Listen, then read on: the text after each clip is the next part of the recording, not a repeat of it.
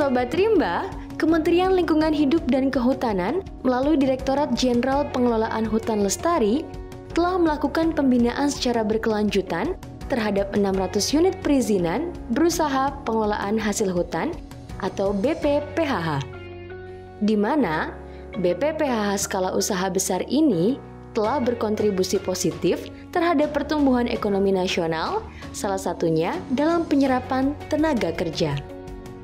Indonesia merupakan negara eksportir terbesar untuk produksi industri kehutanan seperti paper, panel, pulp, bearcore, plywood, dan furniture kayu. Sobat Rimba tahu nggak apa aja sih produk furniture itu? Furniture atau yang dikenal juga dengan perabot biasanya digunakan sebagai desain interior maupun eksterior untuk keperluan rumah tangga ataupun perkantoran seperti meja, kursi, rak, lemari, pintu, dan sebagainya. Bagaimana Indonesia dapat menghasilkan furniture berkualitas yang diakui hingga pasar internasional? Semuanya berawal dari sini.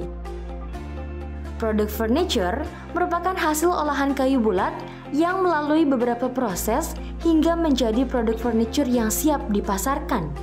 Pembuatan produk furniture ini adalah bagian dari industri terpadu pengolahan hasil hutan dari bentuk model perizinan berusaha pengolahan hasil hutan terintegrasi dengan perizinan berusaha kegiatan industri lanjutan. Sebelum melakukan proses produksi, terlebih dahulu rancangan desain furniture dibuat sesuai dengan permintaan pasar baik dalam negeri maupun internasional. Bahan baku utama yang digunakan dalam proses produksi furniture adalah kayu bulat atau log, sedangkan sebagai bahan baku penunjang bisa menggunakan rotan yang merupakan produk hasil hutan bukan kayu. Kayu bulat atau log yang digunakan berasal dari PBPH kegiatan pemanfaatan hasil hutan kayu tumbuh alami PBPH kegiatan pemanfaatan hasil hutan kayu budidaya tanaman, serta kayu rakyat hasil budidaya yang legal. Untuk memastikan agar semua produk kayu yang beredar dan diperdagangkan memiliki status legalitas, Kementerian LHK menerapkan sistem verifikasi legalitas kelestarian atau SVLK yang diterapkan secara nasional. SVLK atau sistem verifikasi legalitas kelestarian merupakan sistem yang diterapkan oleh Kementerian LHK untuk memastikan kredibilitas penjaminan legalitas hasil hutan, ketelusuran hasil hutan, dan atau kelestarian pengelolaan hutan. Sehingga konsumen di luar negeri tidak perlu khawatir tentang keabsahan kayu yang berasal dari Indonesia. ada beberapa jenis kayu yang dapat digunakan untuk pembuatan furniture, yaitu kayu meranti, keruing, mahoni, pinus, sungkai, jati, dan beberapa kayu lainnya. Jenis kayu yang digunakan disesuaikan dari desain produk yang dipesan. Sobat Rimba juga bisa loh mencari tahu informasi jenis kayu apa yang dapat digunakan untuk produk furniture dengan menggunakan aplikasi alat identifikasi kayu otomatis atau AICO melalui smartphone kamu.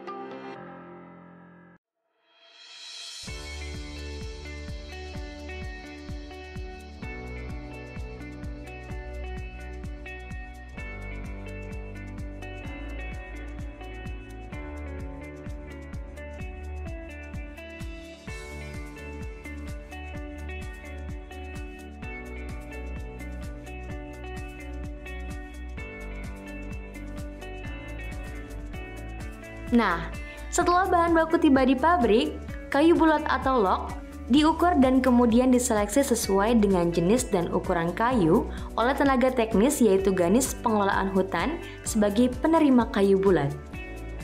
Selanjutnya, kayu bulat dibelah menjadi sortimen kayu gergajian sesuai dengan ukuran desain produk furniture yang akan diproduksi. Setelah dibelah, kayu gergajian kemudian ditumpuk di gudang. Setelah ditumpuk di gudang, kayu gergajian dikeringkan menggunakan clean dry agar terhindar dari jamur dan dimensinya tetap terjaga, sehingga kayu tidak mengalami perubahan bentuk, retak, atau pecah.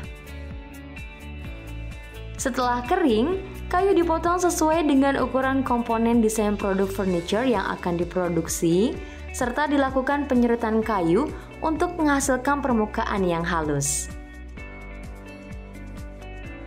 Selanjutnya, kayu dipotong dan dibentuk serta diberi lubang sesuai dengan kebutuhan desain produk furniture dan dilanjutkan ke tahap perakitan. Beberapa bagian komponen selanjutnya dirakit hingga menjadi hasil produk furniture yang sering Sobat Rimba jumpai. Eits, tunggu dulu. Belum selesai sampai di situ. Masih ada proses pengamplasan yang harus dilakukan. Pengamplasan bisa dilakukan secara manual dengan menggunakan tangan dan juga dilakukan menggunakan mesin secara berulang dengan menggunakan grid amplas yang berbeda-beda sesuai kebutuhan. Setelah itu, dilakukan pengecatan untuk produk furniture. Pengecatan dilakukan dengan beberapa tahapan base coat dan top coat. Disesuaikan dengan desain produk furniture agar terlihat indah dan elegan sekaligus memberikan perlindungan pada kayu.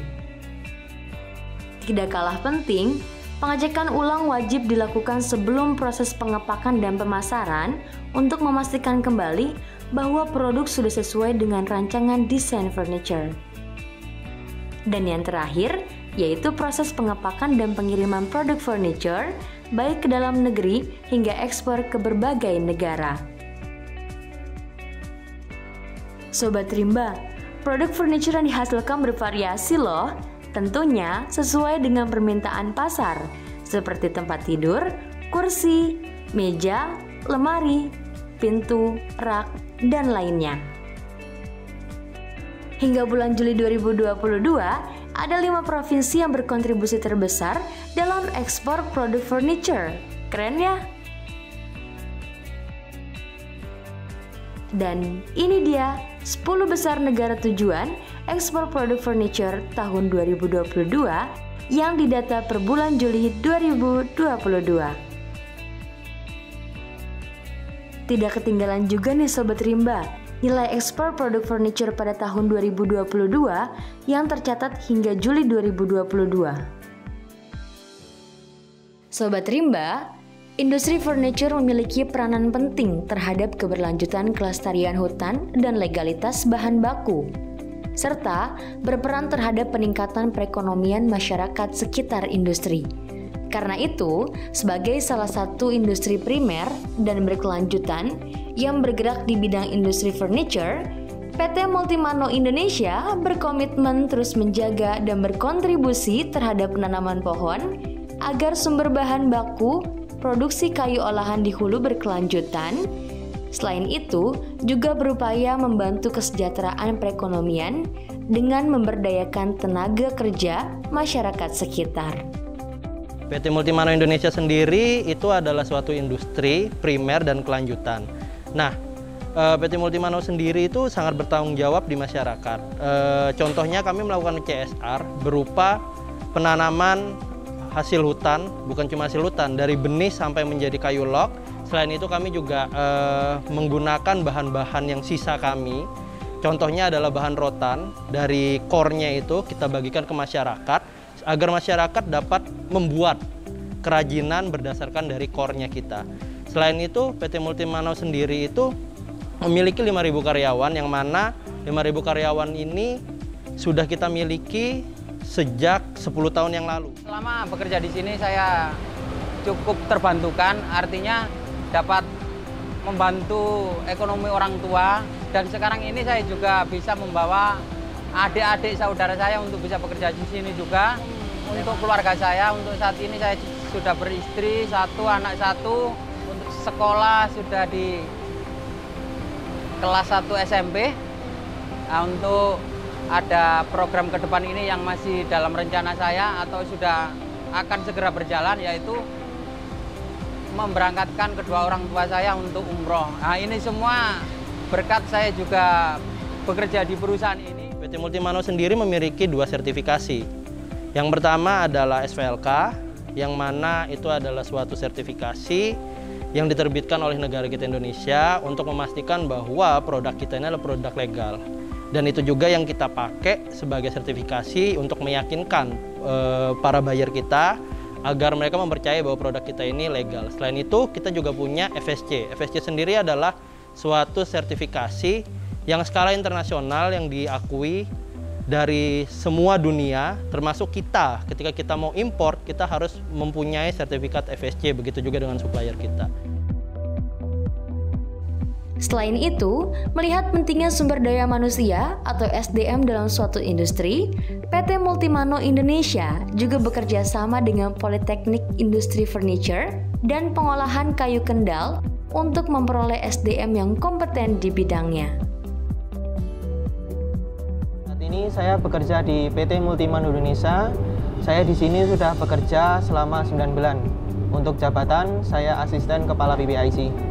Saya merupakan hasil dari kerjasama industri dengan Politeknik Industri Furniture dan Pengolahan Kayu.